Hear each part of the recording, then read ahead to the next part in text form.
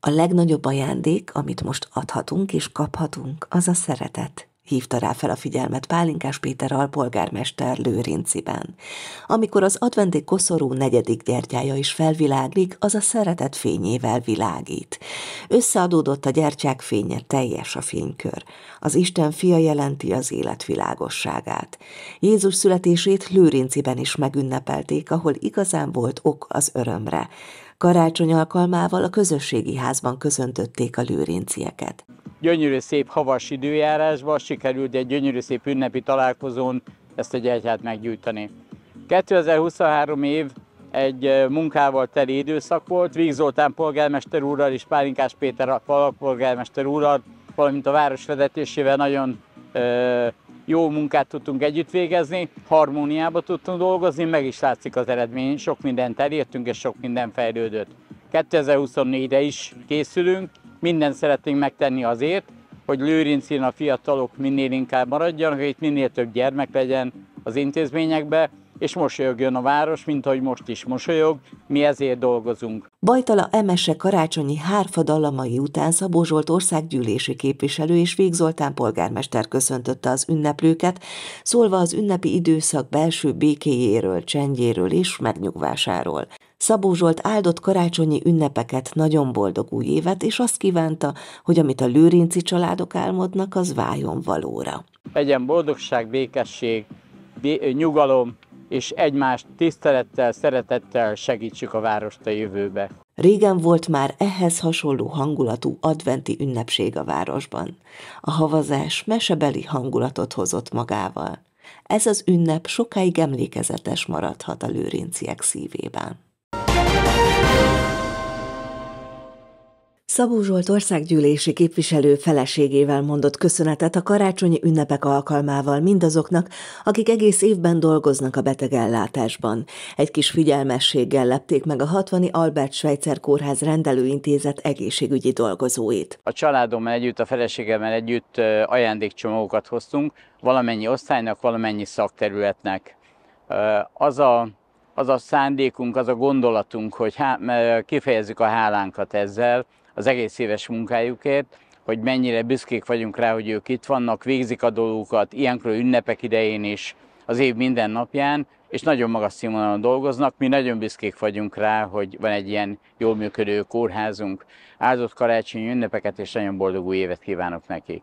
Külön-külön kis meglepetés csomagokkal a kórház minden osztályára, az ott dolgozókra gondoltak, hálát adva kitartó munkájukért, amit a térség lakosainak gyógyulásáért megtesznek.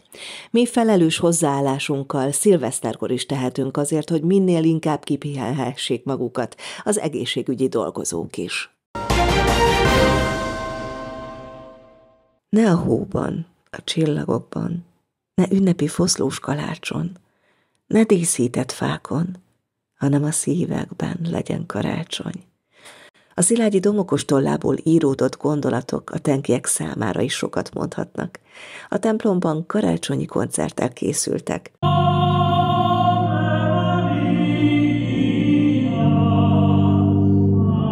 Mészáros János Elek énekével örvendeztette meg a tenki közönséget, megteremtve az ünnep meghitt hangulatát. Ma este Tenken a templomban egy nagyon, nagyon szép adventi műsoron vehettek részt a templomba látogató vendégek. Mészáros János Elek nagyon szép adventi műsort adott elő, ahol a dalok mellett versel és adventi gondolatokkal tette színessé a rendezvényt.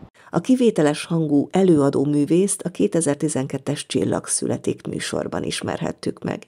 2012 óta is sok helyen találkozhatott vele a közönség.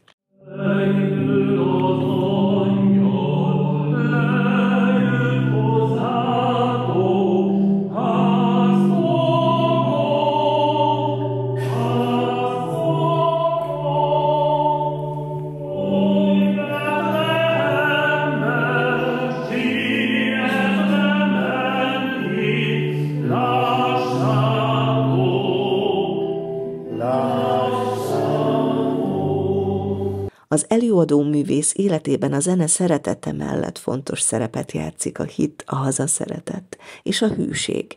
A mostani koncerten dalaival ezekre az értékekre, karácsony valódi üzenetére hívta fel a figyelmet. Itt az a lényeg, hogy az advent, az készülődés a karácsonyra, az adventus domini az Úr érkezése szóból ered, és ezekben a csendes napokban ugye egy-egy énekszámmal, egy-egy gondolattal készülünk az ünnepre, ilyenkor egy-egy gyertya gyúl a szívünkbe, kitakarítjuk az oda nem illő dolgokat, és ebben várjuk, hogy a szívünkbe is megszülössen Jézus Krisztus.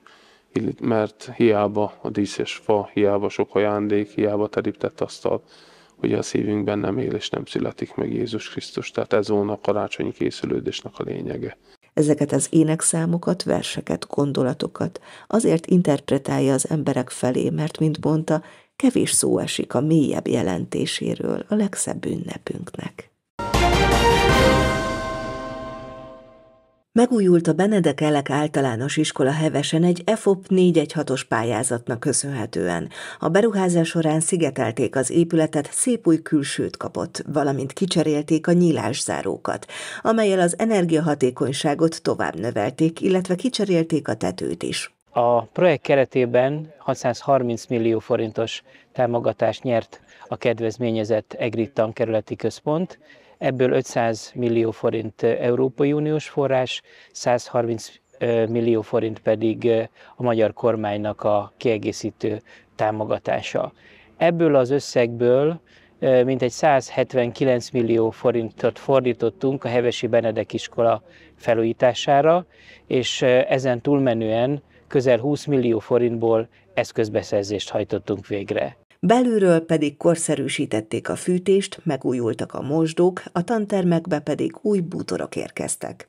Nem állunk le itt, volt egy kis elektromos felújítás is emellett, egy másik pályázatból, és a harmadik pályázat, ami nagyon nagy, ez a Top Plus eh, keretein belül, mint egy 300 millió forintból az iskola belső termei, folyosói fognak megújulni, nagyon szép iskolát szeretnénk, olyat, mint a 1952-ben az épület építésekor az ősök alkottak. Szabó Zsolt hozzátette, hevesen minden intézményt felújítottak vagy felújítanak, jelenleg folyamatban van a zeneiskola korszerűsítése is.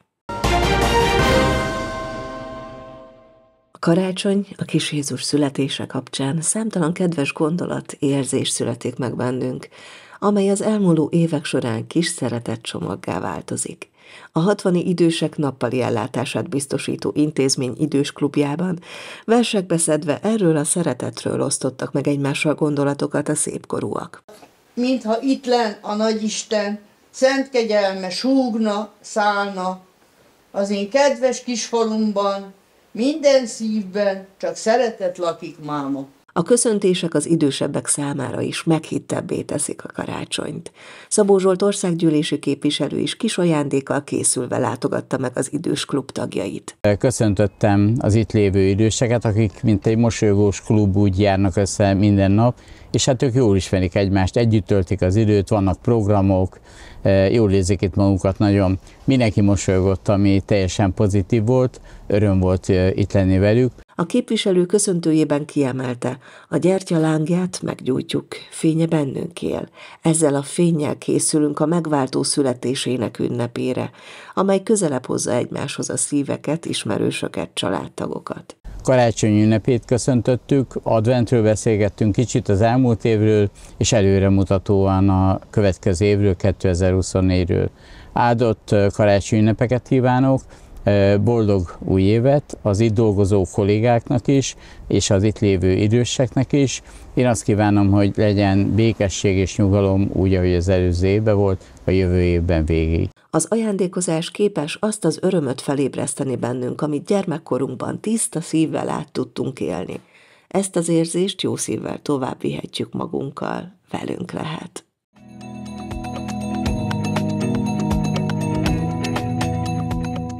Szerdán helyenként ködösen indulhat a nap, majd napközben a napsütésé lesz a főszerep.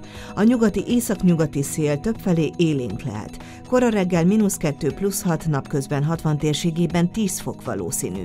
Csütörtökön napos és ködös rétegfelhős tájak váltakozhatnak. Csapadék legfeljebb kötszitálás formájában fordulhat elő a ködös tájakon.